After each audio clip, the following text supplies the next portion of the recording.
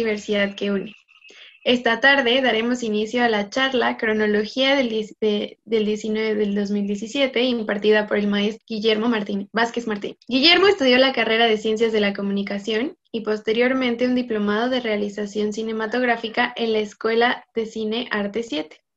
Ha tomado distintos cursos, entre ellos la Masterclass de Actuación y Dirección, impartida por el actor y productor Diego Luna, y el curso de escritura cinematográfica del cineasta, escritor y productor Guillermo Arriaga Jordan, entregando como producto final el cortometraje Broken News, producido en España y logrando la selección oficial en el Mookie Short Film Festival y el Festival Internacional del Cine con Medios Alternativos FIGMA en 2018 y 2019. Además, además fue semifinalista en la categoría cortometraje ficción en el Festival de Cine de Barcelona. También se desempeña en la Universidad Nacional Autónoma de México como coordinador general de comunicación en el Centro de Desarrollo Educativo, creando programas con importantes investigadores y académicos de la UNAM. Actualmente cursa la maestría en innovación de tecnologías educativas y es director de Auténticos Films, agencia productora de cine digital. Bienvenido y adelante, maestro. ¿Cómo están? Antes que nada, eh, saludarlos a todos, bienvenidos a, esta, este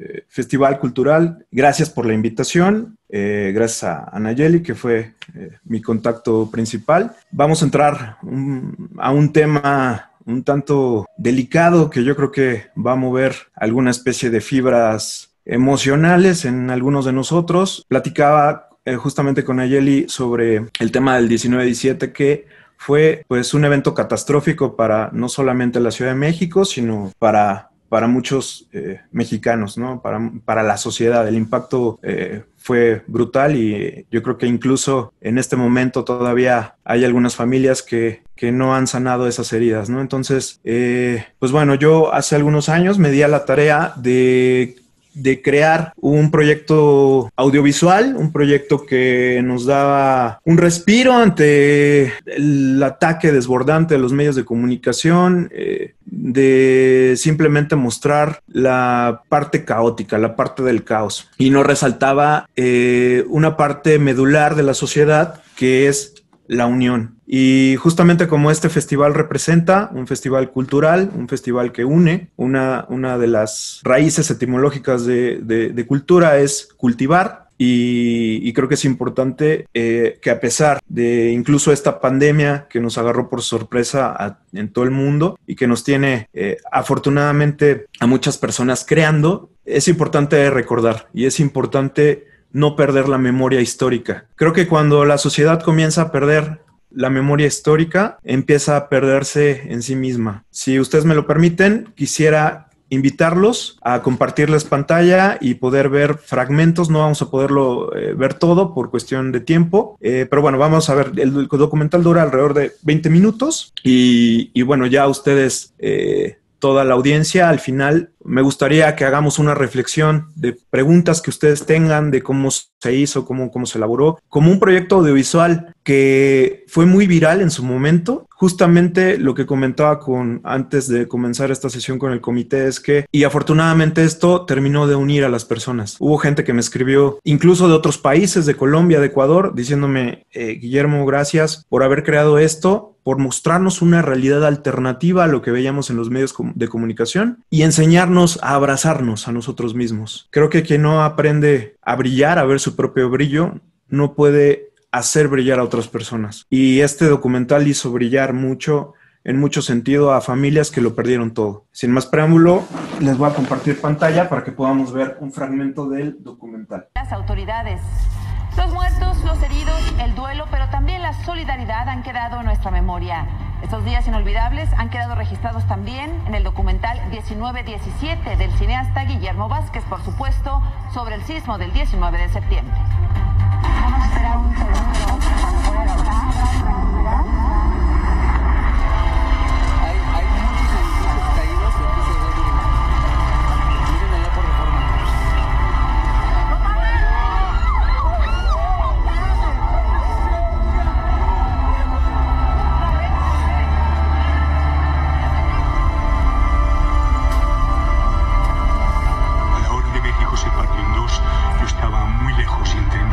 Sabía lo que hoy quiero decirle a México lo orgulloso que estoy de su gente y ahora entiendo más que nunca por qué amo tanto a ese país.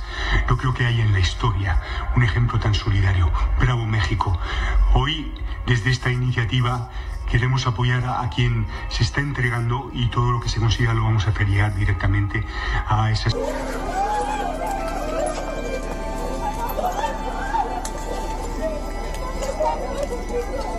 la varilla para que puedan salir. Cuidado, tú puedes. Si puedes salir. Sí, ahí viene con espacio. Vente por ahí, vente, vente por ahí. Aquí, mi amor, aquí, mi amor. Tranquilo, tranquilo, aquí estamos. Vente, mi amor, vente. A ver, aquí, sácalo, ven, mi amor, por ahí. No, no, no le vais a raspar. Ahora por allá, bebé. Sácala por allá, sácala por allá. Ven, mi amor, ven, mi amor, dame la mano. Vente, vente, cuidado con tu. Vente acá, mi amor, vente por acá. Vente, mi niño, vente, mi niño, vente, mi niño, vente, vente, vente, mi niño. Sale. Ya, mi niño, ya no llores, mi niño. Grítale al otro, ya, ya, bien.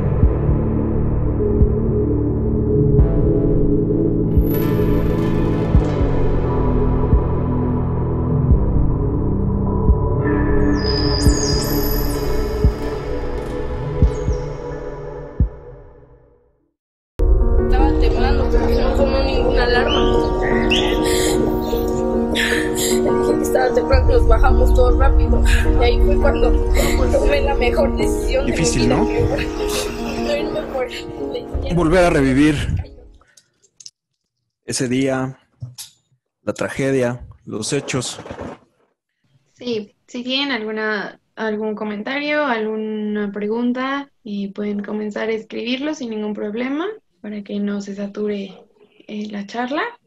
Entonces, por favor. Bueno, mientras cuéntanos eh, qué fue o cómo fue que se dio el proyecto. Pues mira, principalmente lo que les comentaba, ¿no? creo que no, pasaron los días, no sé si recuerdan que en el, en el colegio Repsamen, eh, donde actualmente a la directora la acaban de condenar, condenar 50 años de cárcel. Este, perdón, piden que 50 sea la condena eh, máxima. Este, pues en ese hecho justamente parte el, el documental de, de, ese hecho. ¿no? Empieza como una bolita de nieve, una bolita de nieve. Yo creo que en vez de poner, eh, a diferencia de los medios de comunicación, de intentar este, no mostrar la realidad, eh, yo creo que yo lo que hice, quise hacer un ejercicio un poquito más aleccionador, que nos enseñe que hay que tener una memoria histórica, que hay que recordar para poder sanar y para poder progresar. Al final creo que es lo que estamos viviendo en esta actual pandemia y la sociedad, pues en general, pues de pronto no lo entendemos. Yo sé que hay mucha gente hay que salir a trabajar, no puede dejar de, de, de trabajar, mucha gente vive al día. También creo que la estrategia del gobierno eh, tendría que ser enfocada justamente a ese tipo de gente que, que necesita apoyos y, no nada más eh, enfocarse a la parte de, de, abordar así el virus y, las, y preocuparse por la saturación de los hospitales, ¿no? Más bien yo creo que la gente no está llegando a, a, los hospitales porque, porque se muere antes, ¿no? Y en el sismo pasó exactamente igual en el aspecto no tanto de salud, sino de las emociones. Hay gente que sigue recordando el, el hecho y, y nos sigue afectando. Y creo que la importancia del corto fue esa, ¿no? Aleccionar, un poco recordar, tener imágenes sobre ese día y sobre una manera cronológica, tal vez ordenada de, de, cierta forma que nos pudiera recordar quiénes somos y que como sociedad mexicana siempre a pesar de los hechos trágicos salimos, nos unimos, superamos, ¿no? Y, y esa es la finalidad de, del ser humano. Yo creo que la finalidad es eh, superar todo y cualquier cosa, y sobre todo cuando se trata de fenómenos naturales, pasa que de un, ya sea de país a país o entre el mismo país, la misma sociedad, siempre eh, se une. Y el proceso creativo, pues bueno, nació de la necesidad de, de querer contar algo, de querer vomitarlo. No podía estar solamente en el trabajo pensando en que pude haber editado algo o pude haber producido algo, porque también una cosa particular que tiene que es un, es un ensayo, es un ensayo visual nada más. No hay entrevistas particulares, no tiene elementos tan claros del documental que lo eh, salir, filmar con la cámara. Más bien aquí mis cámaras fueron la misma gente que filmó las escenas, que filmó con sus dispositivos móviles, todo lo que vivían en ese momento de viva voz, ¿no? Y eso creo que conjuntarlo, de pronto me di cuenta que tenía horas y horas y horas de material. Y imagínate cómo, cómo, cómo editas eso, con qué emoción. Y simplemente fue como tratar de leer un libro e imaginarme todo dentro de la cabeza, un carrusel de imágenes, como esos momentos en que ves tu vida pasar en 10 segundos. así, así fue. Yo vi pasar el documental en 20 minutos, ¿no? Todo, to, todos esos días y todos estos años que han pasado ya, porque, porque el sismo fue en el 2017, y es eso, ¿no? Creo que eh, ahora que terminemos la charla les voy a dejar el link ahí en, en, Vimeo, porque también fue importante subirlo a esa, a esa plataforma de video, eh, justamente para no subirlo a YouTube. Muchos me preguntaban, ¿por qué no monetizaste con él? ¿Por qué no monetizaste y lo que ganaste con el video lo, lo donaste? Y ahí sí hay una cuestión muy personal, muy, muy de ética profesional y cinematográfica, y es que nunca, nunca, pero como profesionista de la comunicación, nunca, nunca lucrar con el dolor ajeno. Es tan cruel como ver a dos personas pelearse, poner tu celular, grabarlo y subirlo, ¿no? Y tener likes por eso, o tener monetización con eso. Entonces, ya abordando todos estos temas de cómo lo, lo hice, sí me gustaría más que yo hablar, pues ver participar a la audiencia, ¿no? Saber qué piensan, eh, a pesar de estos años que pasaron, en dónde estamos, en dónde estamos parados, qué cuestiones hay de similitud de lo que vimos en el sismo con esta pandemia, eh, y, resaltar esta parte, ¿no? Que, que comentamos, ¿no? Estamos en un eh, momento actual delicado y creo que la unión como sociedad es importante. Ya se los comentaba al principio de la charla, es creo que ni quien no aprende a brillar a, a, a, sí mismo, a ver ese brillo, no puede hacer brillar a los demás. Entonces es un poquito calmar esos egos que tenemos como, como personas y preocuparse por el otro, ¿no? Traer el cubrebocas, en el caso del sismo, ayudar a quien más lo necesita. Me gustaría más ir por, por esa parte, si tú me lo permites, Nayeli. Preguntas que tengan, dudas, meter a alguien a cámara que preguntar, no sé, Ok, entonces Ernesto está habilitado para... ¿Sí? Ok. Entonces, si quien tenga alguna pregunta, eh, algún comentario, como los que me han estado escribiendo, puede levantar la mano y con gusto se, se da la participación. El número de cuenta que termina en 5809, 318, 318 22 5809. Hasta siento que se dice la lotería. o si no, ya se me pueden escribir sus nombres en los comentarios hacia mí y más fácil les identifico. Sí. Eh, Daniela, Daniela Moralea Márquez, por favor. Sí. Bueno, yo, yo solo quería comentar que me gustó mucho el video porque siento que es muy real y muestra cómo los mexicanos se unieron sin importar nada para apoyar o intentar salvar vidas y a pesar de ello, de que no conocían a nadie, pues fueron muy solidarios y siento que fue un gran cortometraje y muchas felicidades. Muchas gracias, muchas gracias. Eh, ¿Cómo te llamas, Daniela? Sí. Gracias, gracias por tu, tu comentario. Eh, justamente, como les decía, esa era la finalidad, ¿no? ser empático con, con, la parte visual también y, que, y no resaltar solamente las cosas eh, malas, ¿no? De, de algo tan frágil. Gracias, Dani, gracias. Ok, eh, José Manuel Reyes. Se me hace tan extraño que nadie tenga una pregunta, que no te dan preguntas, o se quedaron mal por el... por el...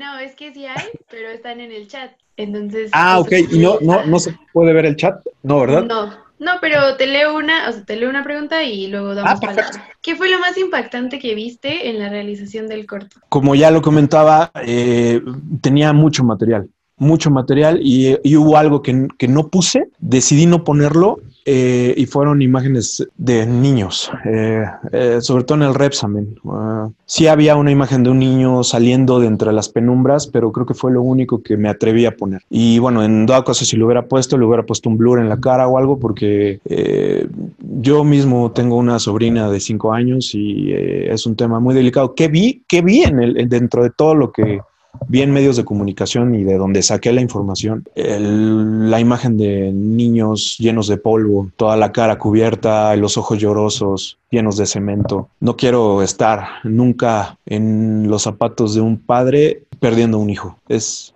durísimo. Eso fue lo más difícil. Ya. Eh, José Manuel Reyes. Sí, sí, hola, muy buenas tardes. Hola. Más que nada, Guillermo, felicitarte por tu trabajo muy bueno, sobre todo lo que mencionas en respecto a la unión eh, y sobre todo el que lo concatenas con el sismo del 1985, que durante mucho tiempo se estuvo, mm, no previendo, sí, previendo esa situación mediante protección civil. Eh, actualmente hay mucho material audiovisual de, muchas calidades, en 1985 no lo había. El, el, papel de los comunicadores fue fundamental, recuerdo a uno, no, no sé si puedo decir su nombre, pero un señor que en esos años salió con los medios que tenía a, documentar todo y cada año lo, revivía, ¿no? Aquí sí, para quienes vivimos el 85, volver, volver a vivir el 2017, pues fue impactante, ¿no?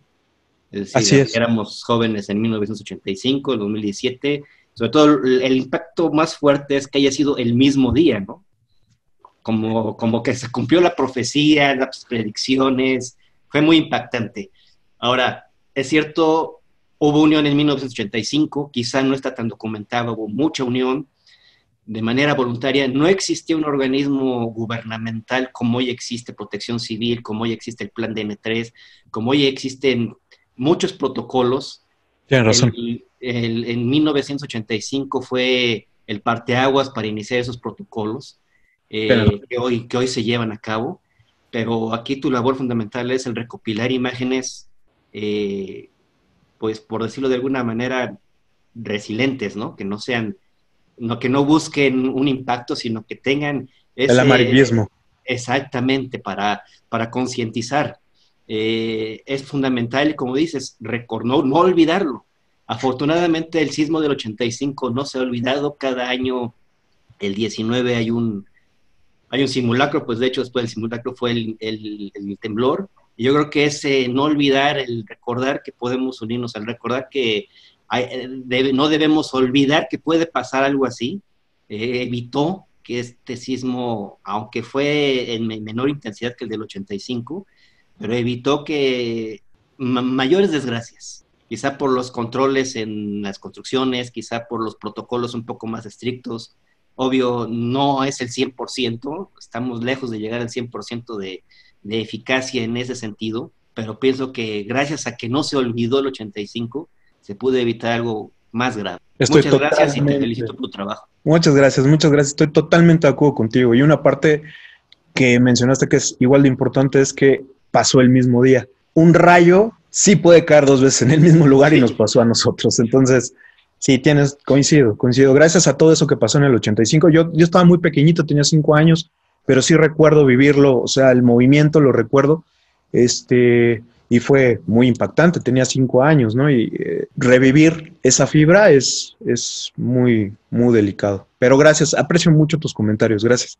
Eh, aquí hay una pregunta, eh, ¿qué tan complicado fue realizar el cortometraje? Pues en ejecución, como les dije, no salí nunca con una cámara, mm, fue trabajo de, de silla, de, de estar en horas frente a la computadora en ejecución, la verdad, no fue complicado. Fue complicado, como decía la persona anterior, el documental va así como una bolita de nieve. Cuando escuchamos en esa eh, pantalla negra, escuchamos a, a, la perrita Frida, sabemos que tuvimos héroes también, ¿no? Y que eran héroes de cuatro patas que tienen millones de veces el olfato mucho mejor que nosotros y que encontraron personas y que salvaron personas y que gracias a que ellos hicieron el trabajo que hicieron, ahorita esas personas están haciendo su vida, ¿no? Es eso, chicos, tratar de no olvidar, nunca olvidar y tener una memoria gráfica histórica. Entonces, difícil no, no fue difícil. Perfecto. Eh, Carolina Espinosa. Hola, Carolina, sí. Ah, hola. Bueno, yo iba a hacer el comentario que la verdad mientras lo estábamos viendo a mí hasta se me puso la, la piel chinita y quería llorar. Recuerdo que ese día fue muy complicado.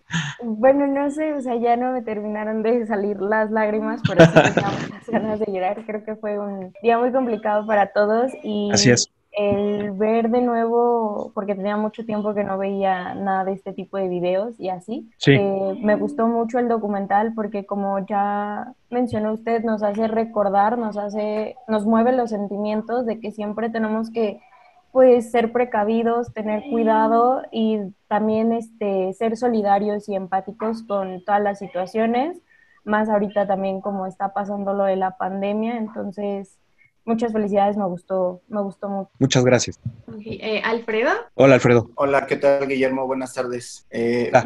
Pues yo quería compartir un poquito sobre la experiencia. Este, en principio, felicitarte por tu, por tu trabajo. De verdad, este, moviste muchas cosas dentro de mí nuevamente porque fui, este, vaya, partícipe del video de- del, del 85, perdón, del sismo del 85. Entonces, viendo cortos por ahí, recuerdo en esa infancia, tendría yo ocho años, este, salir a Tlatelolco y tener que ver los edificios caídos es, es algo duro, es algo crudo, que, que se remueve, eh, te remueve mu- muy, muy fuerte. Este, este de 19-17, eh, yo estaba dando clases, yo soy profesor de una primaria, tenía yo a los pequeñines de segundo en el tercer piso, este, fue una situación difícil porque no sabes cómo controlar a los niños, no sabes cómo decirles, entonces tratas de engañarlos y decirles, no, no está temblando pequeñines, es, es otro simulacro, eh, profesor, pero el piso se nos mueve, sí, pero es otro simulacro, este, porque el primero no nos salió bien, sacas fuerzas de no sé dónde, llega un momento en que no te importa ya quién es, cómo es, de dónde viene, una vez que ves la catástrofe encima de ti, entonces ya no importa más, lo único que importa es, es ayudar. Y, qué, bueno que eso es lo que yo veo en, en tu trabajo, ¿no? Que, Gracias. Que lo importante es estar unidos y pareciera ser que de repente se nos olvida, ¿no? Y, la naturaleza es muy sabia y de repente nos recuerda ahora con la pandemia, ¿no? Tenemos que seguir unidos, cuidándonos unos, unos con otros. Prueba de ello es lo que estamos haciendo ahora, aunque sea a distancia, pero seguir unidos trabajando para, para salir adelante. De verdad, muy buen trabajo, felicidades. Como tú dices, tuve niños, ¿no? Y todos esos niños, gracias a tu, a tu valentía, pues están, están ahí, no pasó a mayores, qué bueno, ¿no? Yo sí te felicito y, y tener siempre vidas pequeñitas bajo tu cargo, seas un maestro, seas lo que sea, una vida chiquita es, es toda, es como una esponjita, ¿no? Es como una esponjita que absorbe todo. Entonces, yo te felicito a ti. Gracias. Gracias, gracias. Aquí hay otra, otra pregunta. Sí, la vi por ahí, ¿no? Era una chica. Sí, pero bueno, eh, antes del sismo, ¿qué impresión tenías de México? Sí, no, yo creo que México no somos un país individualista. Yo creo que somos una sociedad que desafortunadamente sabemos unirnos en la tragedia. Imagínate lo que pasaría si supiéramos unirnos en el éxito de cualquier persona. Lo he visto yo que he ido a, festivales donde hay gente de otros países. Un cortometraje mío estuvo, como, como vieron al principio, eh, nominado eh, a través de España. Yo fui representando a España eh, en vez de México, ¿no? Y me hubiera encantado que yo ese corto lo hubiera podido hacer en México. No pude, lo hice en España y así fue. Fue un acto individual, pero ese acto individual surgió a través del talento de muchos, de mucha gente. y mi crew se llenó de gente extranjera, gente de Inglaterra, gente de España, la actriz, la protagonista es una actriz fantástica española. Este, Josilaje, si pueden buscarla así, Josilaje, ella es el protagonista de mi corto. ¿A qué viene con esto? Que si supiéramos trabajar en equipo y dejarlo individual un poquito atrás con el ego, seríamos otro tipo de sociedad. Por eso hay, hay, sociedades como la holandesa, como Finlandia, ¿no? En donde la educación es como Alemania, la educación es aquí, a tope, ¿no? Y nosotros, pues vamos ahí con trincheras, este, con bombas, con ahí como soldado raso, escarbando para poder encontrar nuestra vocación. Lo que sí les digo es, nunca hagan algo que no les apasiona. Hagan lo que más les da pasión y vuélvanse locos. Si les toca ser un maestro, sean el mejor maestro. Si les toca hacer lo que sé, les los toque ser. Todos desde nuestra trinchera hay que mover emociones, ¿no? Y hay que aprender, reitero, aprender a brillar para poder hacer brillar a otras personas. Ok. Eh, Misael Rangel. Sí. Hola, Misael. Eh, hola, buenas tardes. Eh, primero que nada, felicitarte por tu video, me gustó mucho. Gracias. Y bueno, algo que tú decías de que México no es un país individualista, ¿no? Claro que no. Lo que pasa es, como tú decías, que nos une en los peores momentos y eso es algo que, bueno, está mal porque así como el sismo sacó a relucir a aquellas personas, bueno, la unión de los mexicanos, siento que también salió esa parte de mm, esa parte de aquellas personas que, que, tienen poder y abusan de ello. Un claro ejemplo fue de el colegio Repsamen, de que se sabía que estaba en malas condiciones y obviamente pues pasó esta catástrofe y murieron muchas personas, muchos niños. Entonces, eh, yo creo que no, no hay que esperar nunca a que, a que haya algo malo para que nos una yo creo que en cualquier momento, en cualquier situación, debemos estar unidos y no solamente cuando sea una desgracia, por ejemplo, ahora en la pandemia, en que, pues sí, eh, tratamos de estar todos unidos más que nunca, pero como tú también decías, de que eh, no todos se pueden quedar en casa, no todos podemos estar, este, desgraciadamente es la situación de México, de que no todos nos podemos quedar en casa, en la comodidad, eh, trabajar desde una computadora, y pues mucha gente tiene que salir porque vive al día. Entonces, pues eso es algo que no, como que todavía aún no se le da mucha importancia. Y reitero lo de las personas que están en el poder, de que, pues siento que no, no se, no, no se solidarizan por aquellos que las capacidades de, de, de salir adelante. Entonces, pues sí, tu video me, pareció, me pareció muy interesante porque resalta esa parte de esas personas que, son unidas en todo momento. Gracias, Miss, por tu comentario. Lo, igual me lo quedo aquí también. Gracias. Ok, ¿por qué crees que esa solidaridad que vivimos en aquel 19 de septiembre no se viva en esta pandemia? La ignorancia alimenta esa ignorancia. O sea, yo no puedo creer que haya gente en la calle que diga eh, que no existe el virus, o que no hay gente muriendo, o que no conoce a alguien que haya muerto del virus, o que no se cuide simplemente. El cubrebocas es nuestro extensor de vida. Así como pasa en las películas, eh, traspasó la ficción y desde hace mucho tiempo. Lo vivimos en, en, los inicios de, de, los 1900 con una pandemia que, que azotó durante la guerra, la, la, gripe española, y lo estamos viviendo ahora. Y los virus van a seguir. Los virus son un, es la cosa más pequeña, ¿no? Lo, lo escribía Orson Welles en, en, su película de la, la Guerra de los Mundos. Una cosa tan pequeñita puede destruir completamente a la humanidad. Entonces, así somos de frágiles, somos muy frágiles y esto siempre va a estar, los virus siempre van a estar, la naturaleza siempre va a tratar de compensar la sobrepoblación, el daño que estamos haciendo a la naturaleza. Siempre es así. ¿Y qué, hay que hacer? ¿Qué nos toca hacer? No hay mucha ciencia. Cuidarnos realmente. Salgan a la calle, pónganse el cubrebocas. Es nuestro tanque de... véanlo como el tanque de oxígeno. Lleguen a casa, desinfectelo, desinfectense. La otra vez platicaba con, con alguien que... ¿Te imaginas llegar a casa tú ser asintomático, llegaste, no tuviste las precauciones, las precauciones y contagiaste a alguien mayor de tu familia. ¿A quién eliges? ¿A, quién eliges que se muera? ¿A tu mamá? ¿A tu papá? ¿A tus abuelitos? ¿A quién? Entonces, es difícil, es, es, ya cuando ves el virus dentro de la, dentro de donde el lugar donde habitas y alguien muere, es complicado, porque entonces te das cuenta de que no es una ficción, de que es una realidad, de que no es una película, lo estamos viviendo realmente. Entonces hay que cuidarse en lo emocional, creando, cuidándonos en lo espiritual, cultivando, eh, criándonos en la parte que yo creo que es la más importante, que es la educación, seguir educando. Este, por eso estas, este festival, este tipo de festival eh, que es tan importante y que une a muchas personas, eh, los mensajes lleguen claros, ¿no? Y, me da gusto que todos estamos partiendo de un, denominador común que es que todos estamos viendo el documental como algo sanador. ¿Alguien más quiere participar?